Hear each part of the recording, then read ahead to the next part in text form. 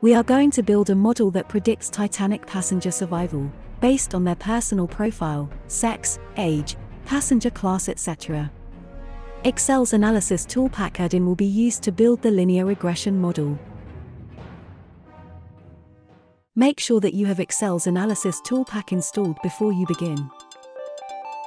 Open Excel, loaded with Titanic 3.xlsx, then click File, More, Options, Add-ins. If the Analysis Toolpak is listed as inactive, click the Go button and check the Analysis Toolpak in the Add-ins dialog box, followed by OK. Click the Data tab on the ribbon. The Analysis group will now be available. If the Developer tab is available, you can access the Add-in dialog box by clicking the Developer tab, followed by Excel Add-ins.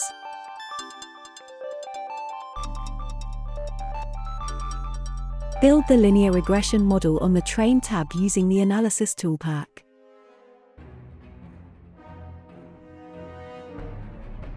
Click the Data tab, followed by the Data Analysis icon. Select Regression from the menu, followed by OK. Survival will be the dependent variable that we want to solve for. Select column E in the table as the Y input values. Select columns F through L as the independent values that will be used to predict the survival value. Enter the range as the input X range. Check the labels box and enter N1 as the output range, then click OK.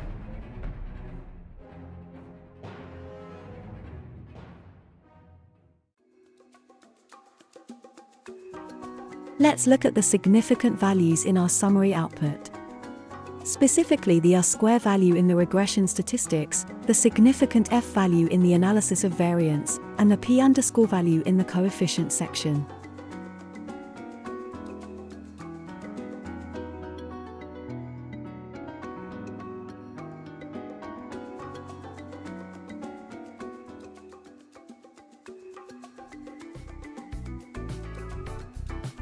R squared.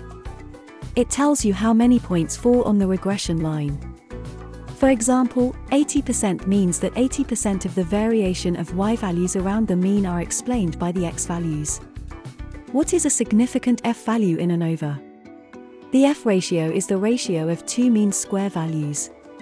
If the null hypothesis is true, you expect f to have a value close to 1.0 most of the time. P-value the smaller the p-value, the stronger the evidence that you should reject the null hypothesis. Use the model to predict the survival of passengers held in the test set. We are fortunate because we have the correct survival values of each passenger. Bring in the test data by copying the table on the test tab and pasting it into cell N29.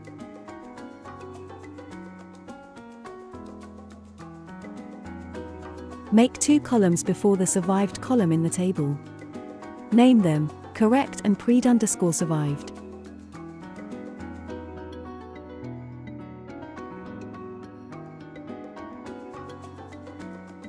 Enter the formula to compute the pred underscore survived value.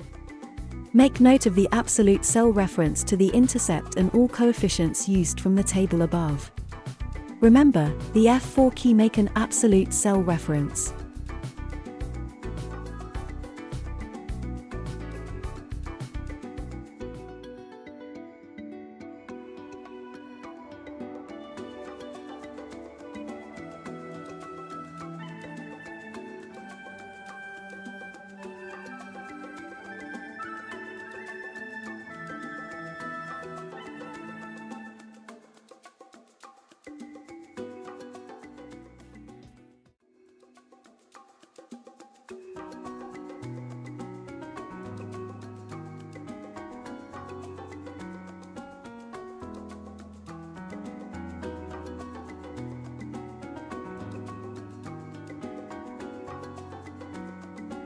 After entering the formula, copy it down to the end of the table.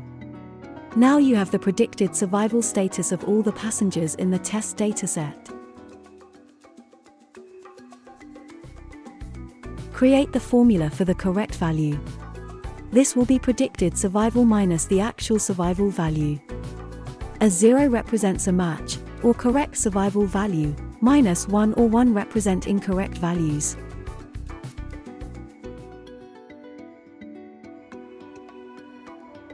Finally, count the number of zeros in the correct column and divide that by 400, the number of records in the test dataset.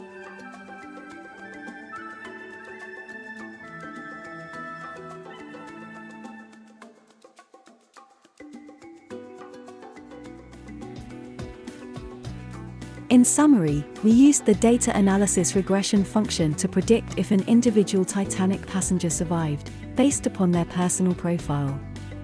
We were able to accurately predict the survival status of 79% of the passengers listed on the test dataset. Supplemental, I would like to demonstrate how to make an array formula. This is a very powerful and rarely used feature that allows you to multiply two vectors in a single command. We will create a new column and name it pred We will make a shorthand version of the pred underscore survived formula, shown before, and use the formula array function to do the computation. Enter the formula like any other, starting with the equal sign. Again, round the value to exclude the fraction. Take the intercept and add the sum of the relevant coefficients times the transposed values of those coefficients. Hit the Ctrl plus Shift plus Enter keys to turn the formula into an array formula.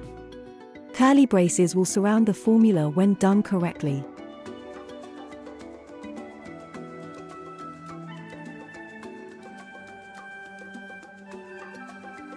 Notice that when you hit the Ctrl plus Shift plus Enter keys the curly braces are automatically added.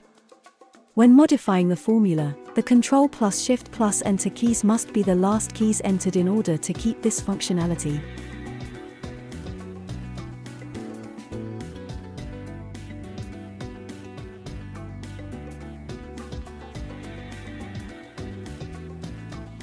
I'll modify the correct value to compare the two predicted survival values. 100% is the expected value, since the array formula and predicted survival formula are doing the same computation.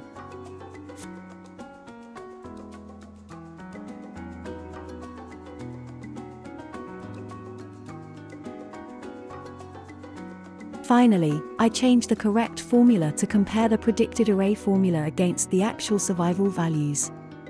Again, you will see that the predicted value is correct approximately 79% of the time.